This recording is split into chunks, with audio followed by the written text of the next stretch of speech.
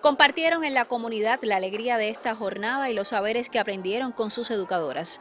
Al festejo por el nuevo aniversario de constituidos los círculos infantiles, se dedicó este gran festejo donde las iniciativas fueron tan diversas como sus protagonistas. Hoy es un día muy especial.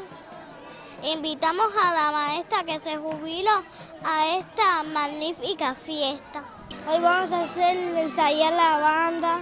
A las afueras del Círculo Infantil Conchita Más Mederos se realizó esta actividad que sumó a varias familias del Consejo Popular Juanita I como escenario importante para el desarrollo sociocultural del centro. Se ha visto aquí el trabajo en red, donde tenemos las galas culturales con la Escuela Mariana Grajales, los factores de la comunidad, eh, todos los proyectos que tiene la comunidad del Consejo Popular se vendrán en práctica aquí hoy en este aniversario 63 de los círculos infantiles. Tratamos de involucrar a todos los agentes y agencias.